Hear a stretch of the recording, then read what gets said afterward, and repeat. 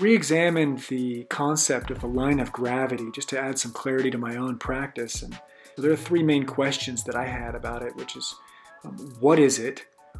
What is its value in drawing? And how do we make use of its value in our drawing? What is gravity? What is line? And I went through it like that. The first thing is that uh, you know gravity is a force by which a planet or other body draws objects towards its center. And then line, I don't think there's any question about like what a line is. There's a, you know, you stand in line at the store, people line up to, uh, to do many things. There's a, um, but then line is like a series of, uh, even like small dots would appear to be a continuous line. In drawing, line really does represent movement of a thing. I'll discuss line in more detail in a future video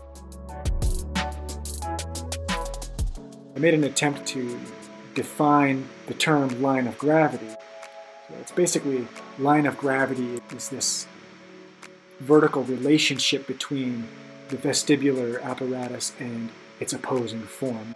Another word for balance is uh, equilibrium, which Oxford defines as a state in, in, in which opposing forms are balanced opposition in all things we're familiar with. You know, we have light and we have dark, and we have kindness and we have malice, we have orange and blue and smooth versus rough. But we're talking about drawing the human form. What is equilibrium in the body? What causes us to have, be balanced? You know, where's our equilibrium in the human body? Apparently, the system responsible for our equilibrium is called the vestibular apparatus. Where's the vestibular apparatus? You know, basically inside the ear. And that's useful for the, the side poses if you're drawing a side pose. But to make it useful for every pose, we can just consider it as the center of our cranium.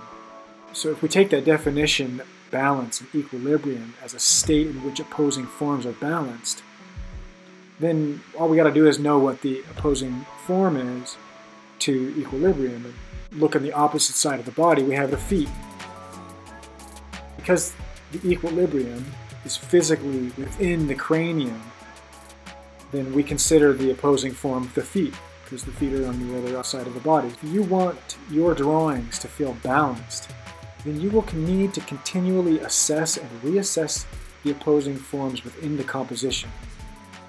That's not just in figure drawing, you know, if you want to have a balanced composition in like a perspectival drawing, you'll want to consider the elements within the drawing, particularly the opposing forms, because the arrangement of the opposing forms is what will determine the balance.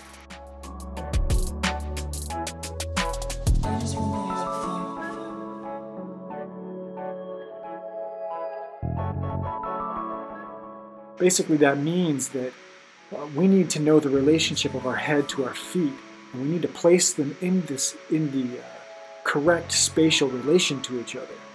And if we do that, then uh, we'll have a balanced drawing, one that uh, will have a sense of stability when we look at it. It will, um, not just in figure drawing, but in composition again, you know, it'll have a, a feeling of balance.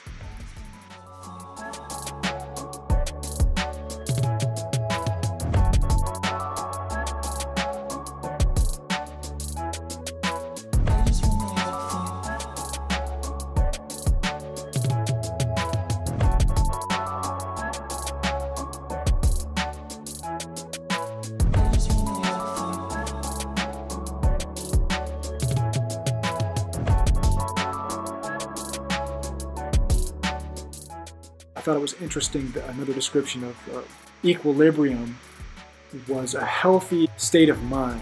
So then my next question would be how do we apply equilibrium? Like what do we do to create a healthy mind, a balanced mind?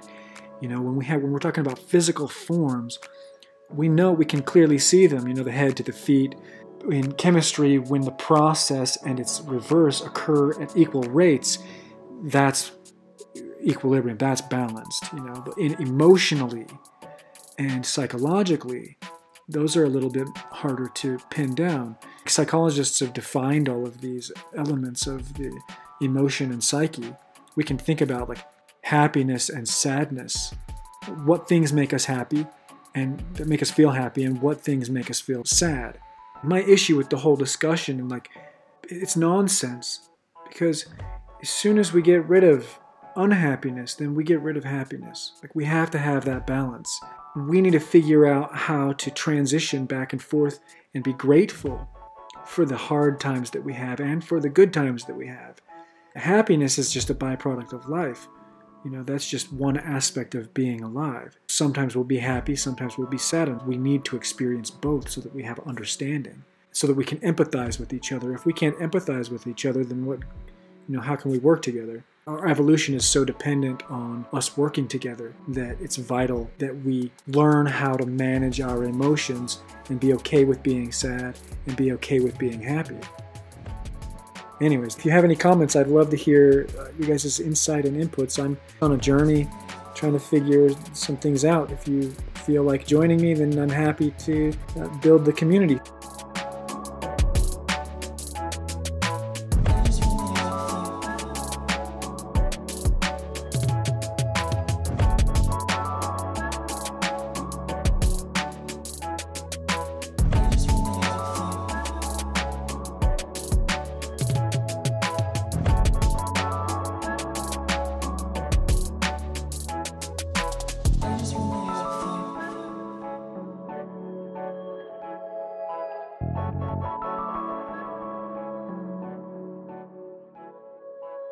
Just wanna